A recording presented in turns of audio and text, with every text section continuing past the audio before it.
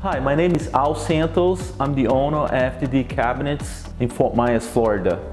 I started my business here in Fort Myers in February in 2005, so a little over 15 years ago. The service that we provide here is remodeling of kitchens and bathrooms, specializing cabinets and countertops also. Most of our customers choose our business because they come refer from prior customers. So 90% of our business from existing customers, they refer friends and family members to us.